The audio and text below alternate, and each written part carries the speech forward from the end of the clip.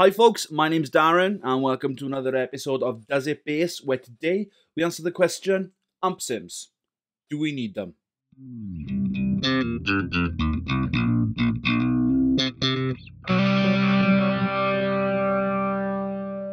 One of the questions that's always bugged me personally is whether we actually need an amp sim. Now I don't just mean with the Line 6 Helix, I mean in general. For absolute years, some of the best live and recorded tones have been a bass just straight into a DI into the desk or just plugged directly into the desk, bypassing the amp completely, which actually just relegates your Ampeg 8x10 to a massive stage monitor where you just hear yourself. Most of the time, your audience won't hear this, they will hear the direct bass sound. One of the most famous ways of actually DIing a bass is with a SansAmp bass driver DI.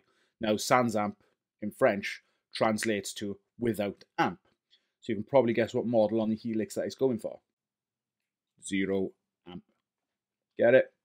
It's been used in studios and live for years, and some of the best bass tones have come out of it. A bass straight into a SansAmp bass driver DI, and straight into a desk. Again, for live or recordings. On the other hand, you could just scrap the whole bass DI thing altogether and just go into a normal DI box, straight in the desk, and just have a little bit of EQ and compression afterwards. And nowadays, so many actual bass amps have got direct outputs on the amp, which bypass the power side of it completely, so you are just using a direct sound from the preamp. Again, relegating your amplifier to an on-stage monitor. Now, me, I no longer actually own a bass amplifier.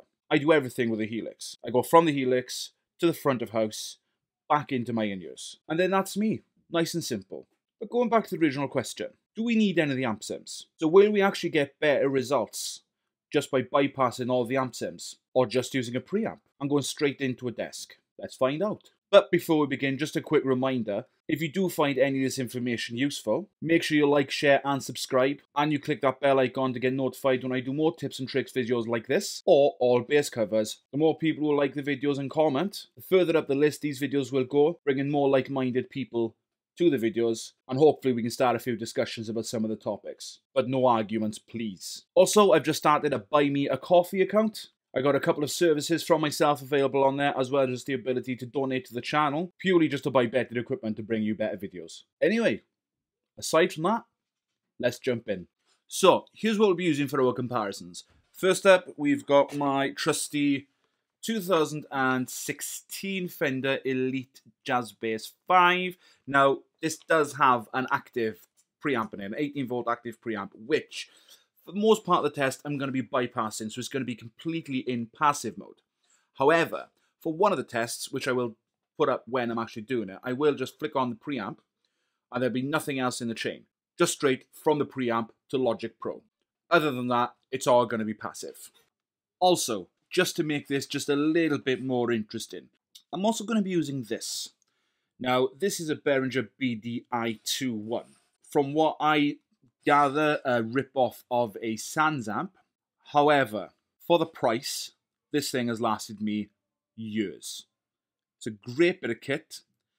It's never broken, but if ever it does, it's cheap enough to replace and it's good enough to want to replace. So I'm going to be using this in the effects loop of the Line 6 Helix, and I'll make sure I let you know when that is. This is just to add some sort of analog element to the test. One of the other things to make this one a little bit more interesting, I'll be using a preset by a gentleman called David DeMatos. I'm really sorry if I got your name wrong, David. I'm awful with names, as I found out from one of my last videos. Yeah. Sorry as well, Jason. But anyway, he's created a preset based around emulating a Noble Amps preamp which is essentially a high-end tube preamp. So we will be using that preset just to get a little bit more flavour in terms of the tones. I'll also put a link in the description to David's channel where you can see him using these tones and hopefully show you how to emulate them yourself. And I do also have a friend who actually owns one of the Noble Amp preamps. His name's Leighton, but we'll talk a little bit more about that later, when we're going to be diving into using drives and dirt. So apart from that, I'll be going straight from the bass to the Line 6 Helix rack straight into Logic. For this test, I won't be using any impulse responses. I'll be using all the stock cabs within the Line 6 Helix. I'll be jamming along to a basic drum track I made specifically for this video, and I'll be dialing in the tones for what best actually suits.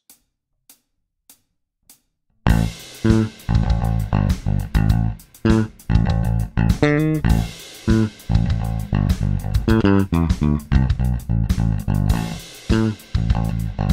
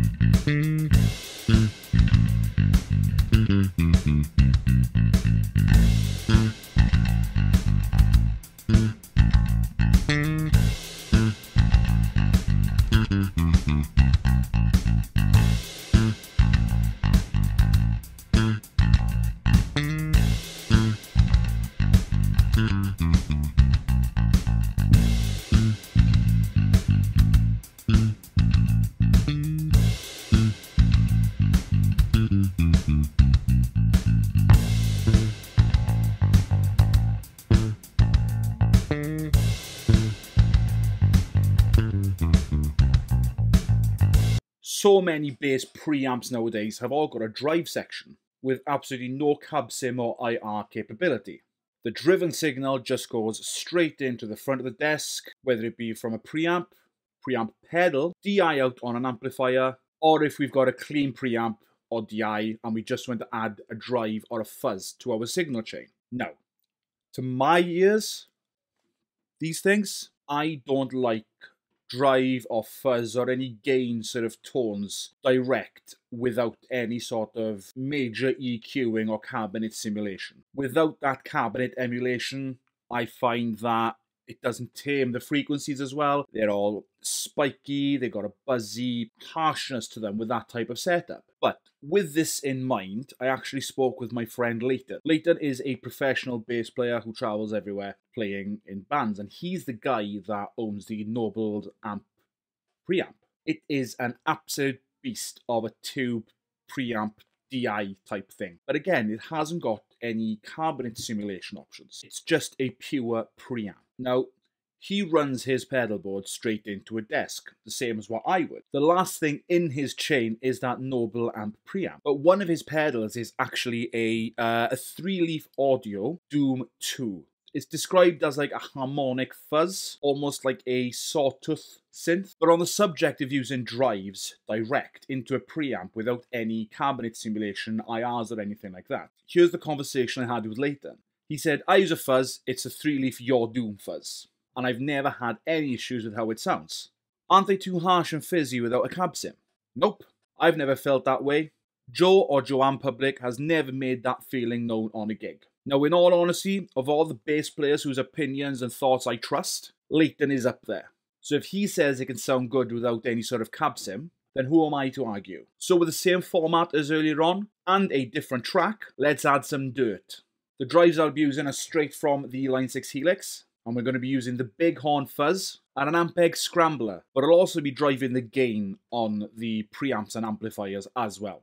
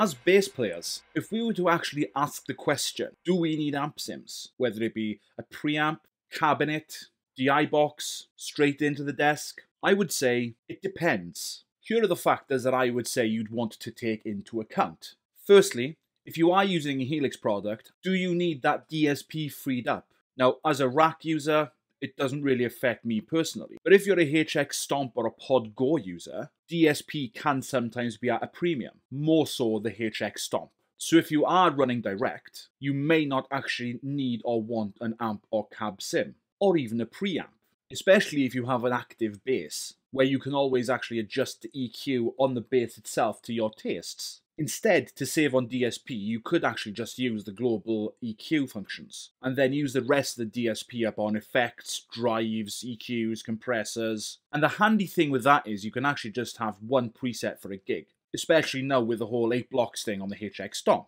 Secondly, are you using any drives or fuzzes? Now, even with everything heard and said, my preference would still be to add some sort of cab sim you could actually just assign the cab sim to turn on and off along with your drive pedals, so that when those drives are off, the cab will also be off and you will still get that nice clean bass signal, or from that of a preamp. Lastly, and this is the most important one, what sounds best to you? What sound will work best in your situation, whether that be live or in the studio? How will that bass sound sit in a mix with the rest of the band? Are you working with a sound engineer who knows how to get the absolute best out of a straight, dry bass sound? As we know, it's completely subjective. I prefer having a cab sim on all the time. I prefer having an amp sim on all the time. My go-to is actually an SVT4 Pro and an Ampeg 810, only because I owned one and I know how they sound, I know how they work, I know how they feel to me, it just makes my sound sound and feel bigger. It gives it a little bit more of a, um, a live feel, especially in the acts I play in where I don't actually have an amplifier on stage. But that doesn't mean that I don't actually like a direct, unaltered, dry, clean bass sound. Once I get my hands on a HX Stomp and a Pod Go, I will revisit this and test the DSP out in terms of all the different options that we have gone through. But in the meantime, let me know in the comments below. How do you run your bass live? How do you run it in the studio? What equipment are you using to get your sound? Whether that be using a DI box, a Line 6 product, any sort of bass preamp. What do you prefer? What do your sound engineers prefer? What does your band prefer? Or are you an engineer yourself that just prefers having a nice clean DI'd signal without having any of the amp sims, cab sims or anything? If you do have any further suggestions for further episodes or if you have any burning questions about using Line 6 Helix products with bass, do you want any tips or tricks? Let me know in the comments below and also let me know what sort of content you would like to see. Give me a follow on Facebook and Instagram on the links provided. And again, make sure you give this video a nice thumbs up if you found some of this information useful. And hopefully we can direct more like-minded people towards these videos. Also, if you enjoy the content that I am putting out and you do want to support what I do so we can get better quality stuff out there for you guys, then check out my Buy Me A Coffee link below, where you can support what we do. I've also got offers in there for services such as one-to-one preset building for bass players, as well as if you want me to play bass on your song. Or you can just leave a small tip for me to have a nice cup of coffee. I do have a newborn at home and I work a full-time job, so I need all the coffee that I can get. See? I got kids. Newborn and this one. And I'm knackered. Hi guys. Give me coffee. Please. But until next time, folks, thank you very much for sticking around, and I'll see you again soon. Bye! Oh, so you click. I don't know, it's recording, mind. And then